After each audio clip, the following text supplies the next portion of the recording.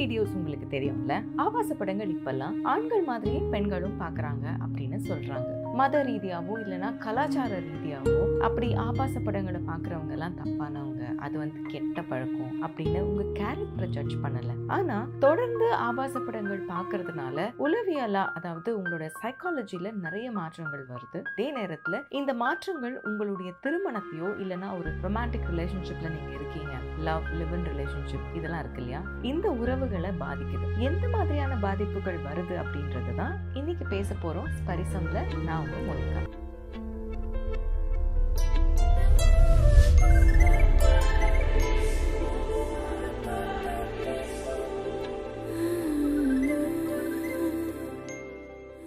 மது அருந்துறது cigarette பிடிக்கிறது இல்லைனா வேற ஏதாவது ஒரு போதை பழக்கம் இருந்ததுன்னா அது எப்படி உடல்ல வந்து அடிக்ஷனுக்குள்ள கொண்டு போய் நம்ம அதுக்கு அடிமையாயிடுறோமோ எப்படி அதை நிறுத்தின உடனே நம்மளுக்கு உடல்ல நிறைய மாற்றங்கள் வருதோ அதே மாதிரி தான் போனோகிராஃபி அப்படின்றதும் மனசளவுல நம்மள ரொம்பவே பாதிக்கிற ஒரு விஷயம். தொடர்ந்து பல ஆண்டுகளா இந்த பழக்கம் இருக்கிறவங்களுக்கு ஒரு பாயிண்ட்ல அது வந்து அடிக்ஷனா மாறுறதுக்கும் வாய்ப்பு இருக்கு. ஆபாச படங்கள் பாக்குறவங்க எல்லாருமே எதற்காக அதை பாக்குறாங்கன்னா அதுக்கப்புறமா சுய இன்பம் அதாவது மாஸ்டர்பேஷன் அதுக்காக தான் பாக்குறாங்க ஸோ ஒரு ப்ரொலாங்ட் டைம்ல வந்து கல்யாணத்துக்கு முன்னால ஆண்களா இருந்தாலும் பெண்களா இருந்தாலும் இந்த ஆபாச படங்கள் எல்லாம் பார்க்கறதுக்கான காரணம் என்ன சொல்றாங்க? ஓகே நான் சிங்கிளா தானே இருக்கேன். அப்பனா நான் என்ன பண்றது அப்படின்றதோ? இல்லனா எனக்கு செக்ஸை பத்தி அப்புறம் ஒண்ணுமே தெரியாம போயிடுமே. அதனால பேசிக்கா கொஞ்சமா தெரிஞ்சுக்கிறதுக்கு இந்த மாதிரி ஆபாச படங்களை நான் பார்க்கணும் அப்படின்ற காரணங்கள் சொல்றாங்க. பட் என்ன காரணமா இருந்தாலும் போனோகிராஃபி அப்படின்றத நம்ம நார்மலைஸ் பண்ண முடியாது. ஆபாச படம் பார்க்கறது அப்படின்றது ரொம்ப நார்மல் தானே அந்த வயசுல அப்படின்னு நம்ம சொல்ல முடியாது. டீனேஜ் படிக்கும் போது இல்லைன்னா வாழ்க்கையில இது வரைக்கும் நான் ஒரு நாலஞ்சு தடவை ஆபாச படங்களை பார்த்துருப்பேன். அதனால என்ன தப்பானவங்க அப்படின்னு சொல்றீங்களான்னு கேக்குறீங்களா? அப்படியெல்லாம் நான் சொல்லல. எப்போ போனோகிராஃபி அப்படின்றது வந்து உங்களுக்கு அடிக்ஷனா மாறுதோ இல்லைன்னா உங்களுடைய வேற ஏதோ ஒரு இமோஷனல் டிஸ்டர்பன்ஸ் அது வந்து ஃப்ரஸ்ட்ரேஷனாக இருக்கலாம் டிஸ்டர்பன்ஸ் இல்லைனா நீங்கள் தனியாக இருக்கிறதுனால அது உங்களை ரொம்ப டிப்ரெஸ் பண்ணலாம் கோபமாக இருக்கலாம் ஒரு இன்சல்ட்டாக இருக்கலாம்.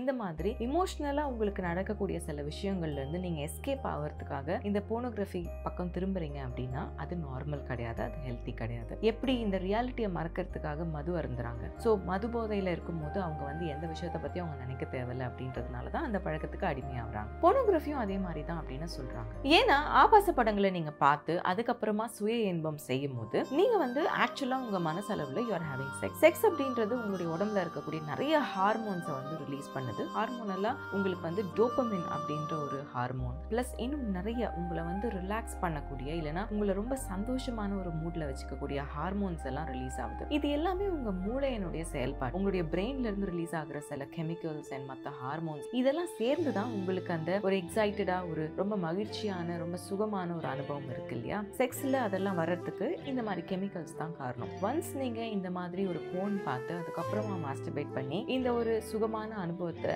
நீங்க வந்து யூஸ்ட் ஆயிட்டீங்க அப்படின்னா அதுக்கப்புறம் மறுபடியும் மறுபடியும் உங்களுக்கு அதுதான் தேவைப்படும். எப்பெல்லாம் உங்களுக்கு கோவம் வருதோ இல்லை எப்பெல்லாம் நீங்க வந்து ரொம்ப இன்சல்ட்டடா ஃபீல் பண்றீங்களோ ரொம்ப டிப்ரெஸ்டா ஃப்ரஸ்ட்ரேட்டடா இருக்கீங்களோ இந்த நெகட்டிவ் எமோஷன்ஸ் எல்லாத்துல இருந்தும் நீங்க டைவர்ட் ஆகணும் அப்படின்றதுக்காக ஆபாச படங்களை பார்த்து அதுக்கப்புறமா நீங்க இந்த மாதிரி மாஸ்டர்பேட் பண்ணி அந்த சுகமான அனுபவத்துல போயிட்டு ரியாலிட்டியை மறக்கணும்னு ட்ரை பண்ணுவீங்க. இதுதான் கொஞ்சம் கொஞ்சமா அடிக்ஷன் ஆகுது. இது ஏன் உறவுகள்ல பாதிப்பு வருது அப்படின்னு பாத்தீங்கன்னா போனோகிராஃபியை பார்த்துட்டு நீங்க வந்து மாஸ்டர்பேட் பண்றது அப்படின்னா அது வந்து ரொம்ப செல்ஃபிஷான ஒரு விஷயம். நீங்க உங்களை பத்தி மட்டும்தான் யோசிக்கிறீங்க. உங்களுக்கு சுயமா இன்பம் வரும் அப்படின்றதுக்கு வேற எதுவுமே யாருமே தேவையில்லை. ஒரு ஆபாச படம் இருந்தா போதும். அதுக்கப்புறம் நீங்க உங்களை ஹாப்பியா பிளஷரபிளா வச்சுக்க முடியும். ஸோ நீங்கள் ஒரு ரிலேஷன்ஷிப்லன்னு போயிட்டீங்க அப்படின்னா அது வந்து லவ்வாக இருந்தாலும் மேரேஜாக இருந்தாலும் செக்ஸ் அப்படின்றது ரெண்டு பேர் சம்மந்தப்பட்ட ஒரு விஷயம். வெறும் உடல் ரீதியான விஷயம் இல்லை. ரெண்டு பேர் சம்மந்தப்பட்ட விஷயம் அப்படின்னும் போது நீங்கள் செல்ஃபிஷாக இருக்க முடியாது. உங்களுடைய இன்பத்தை மட்டுமே நீங்கள் யோசிச்சு உங்களை சாட்டிஸ்ஃபை பண்ணுறதுக்கு மட்டுமே நீங்கள் வந்து செக்ஸில் ஈடுபடக்கூடாது. உங்கள் பார்ட்னரும் இருக்கும்போது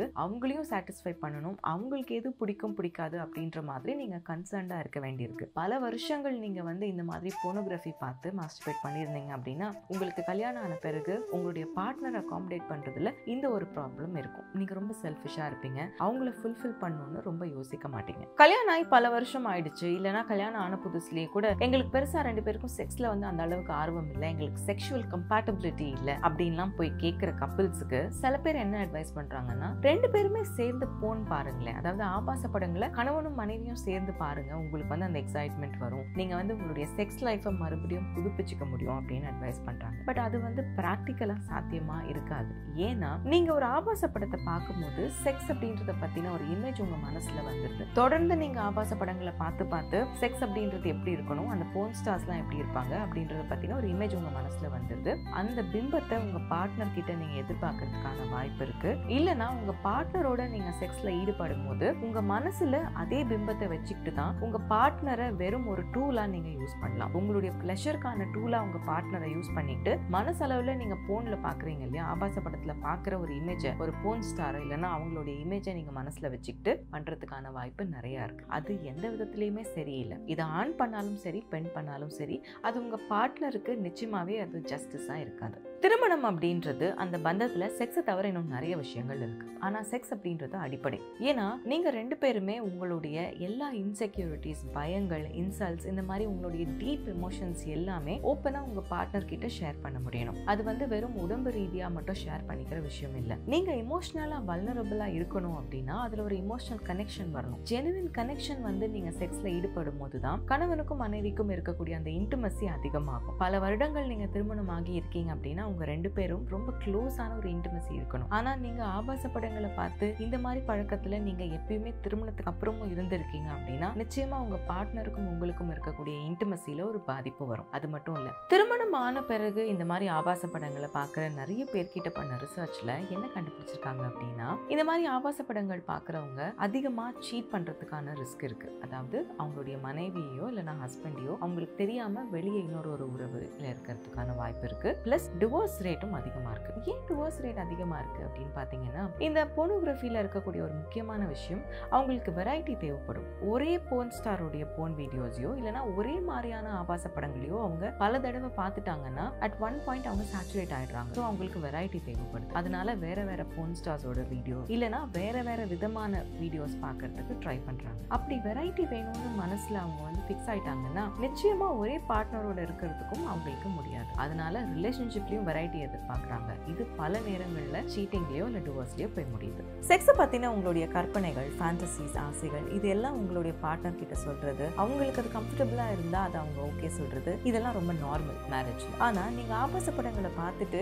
அன்ரியலிஸ்டிக்கான நிறைய எக்ஸ்பெக்டேஷன்ஸ் உங்கள் பார்ட்னர் கிட்ட கொடுக்குறதோ இல்லை செக்ஸில் சில நார்மலாக பண்ணாத விஷயங்களை நீங்கள் எதிர்பார்க்கும் போது அதில் நிறைய டிசப்பாயின்மெண்ட் வரும். இன்னொரு பக்கம் பார்த்தீங்கன்னா இந்த வயலன்ஸ் அப்படின்றது போன் வீடியோஸில் நம்ம பார்க்குறோம். இல்லையா? அதில் வந்து லவ்வோ இல்லைன்னா அன்பு காதல் இந்த மாதிரி விஷயங்கள்லாம் போன் வீடியோஸில் இருக்காது. அது வந்து just an act of sex அதில் வயலன்ஸ் அதிகமாக இருக்கலாம். இல்லைன்னா நார்மலாக நம்ம அக்செப்ட் பண்ணாத நிறைய விஷயங்கள் ஆபாச படங்களில் இருக்கு ரேப் இல்லைன்னா சைல்டு அபியூஸ் வயலன்ஸ் இந்த மாதிரி சொல்லிகிட்டே போகலாம் நீங்கள் அந்த ஆபாச படங்களை தொடர்ந்து பார்க்கும்போது இப்போ பொதுவாக நம்ம ஒரு விஷயத்த பார்த்துச்ச அப்படின்னு கண்ணை மூடுறோம் வச்சுக்கோங்களேன். நீங்கள் தொடர்ந்து அதை பார்த்துக்கிட்டே இருந்தீங்கன்னா நீங்கள் டீசென்சிட்டைஸ் ஆகிடுவீங்க அதனால உங்களுக்கு நார்மலுக்கும் இந்த மாதிரி அப்நார்மலுக்கும் வித்தியாசம் தெரியாமல் போயிடும். இன்னைக்கு நிறைய ரேப்ஸ் அண்ட் சைல்டு அபியூஸ்லாம் நடக்குது அப்படின்னா அதுல நிச்சயமா நிறைய பேர் வந்து ஏற்கனவே ஆபாச படங்களில் இந்த மாதிரி விஷயங்களை பார்த்து அது வந்து அவங்க வந்து டீசென்சிட்டைஸ் ஆயிருப்பாங்க. இது தப்புன்ற அளவுக்கு அவங்க யோசிக்கவே முடியாத அளவுக்கு அந்த அளவுக்கு அவங்க ஆபாச படங்களில் இதை பார்த்துருப்பாங்க. இந்த அப்நார்மலான விஷயங்கள் உங்களை டீசென்சிட்டைஸ் பண்ணிடும் அப்படின்றதுனால தான் உளவியலா நிறைய மாற்றங்கள் வரும். அது உங்களுடைய ரிலேஷன்ஷிப்பை பாதிக்கும் அப்படின்னு நான் சொன்னேன். சரி இப்போ நீங்க போன் வீடியோவில்